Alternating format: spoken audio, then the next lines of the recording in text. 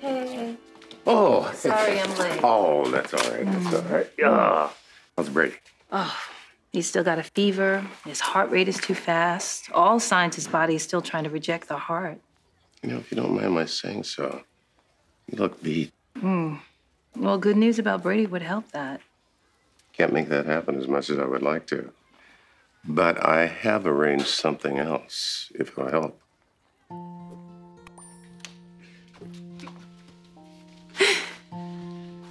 How come this place is closed? Well, not that I mind being alone with you.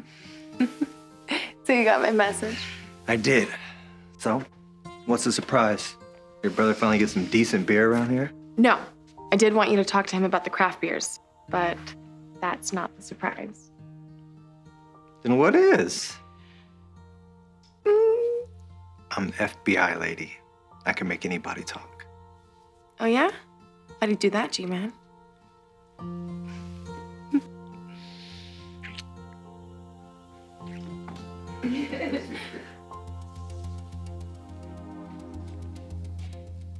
This isn't a surprise, it's a setup.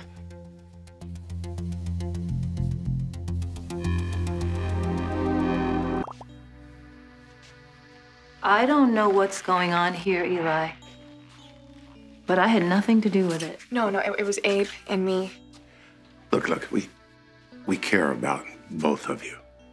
And we just thought you would try to work out your differences. This is none of your business. I know. Okay, I know that, but I'm a mother. And I can see that you have a mother who loves you very much. You know, parents aren't perfect. And and in trying to protect their kids from pain, sometimes sometimes we make judgment calls that backfire. Do you know how it feels to find out who your real father was? After the man is dead? No, Eli, I don't. But I know what it feels like to have your father go to prison. And it hurts to not know if he's gonna be in your life or your daughter's life. What do you two say? I mean, can't you at least talk to each other? Well, I'm more than willing to. But it's not my call. It's on you, Eli.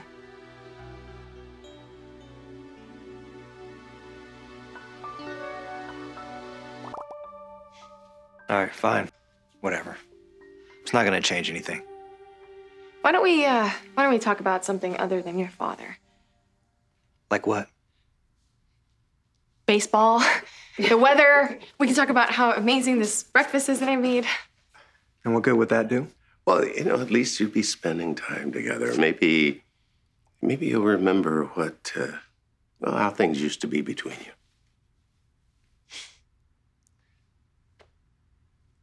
Fine, whatever. All right, uh, Gabi, um, let's go.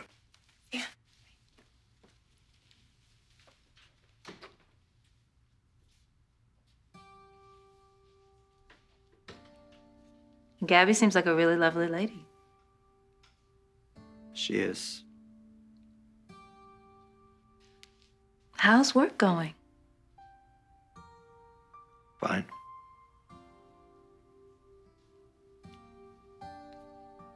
I guess we could eat breakfast. Least we could do. Those berries look kind of good.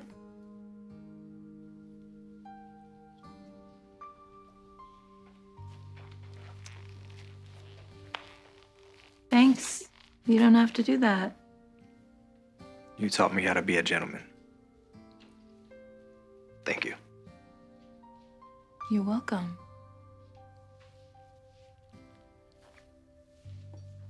I'm glad it's done.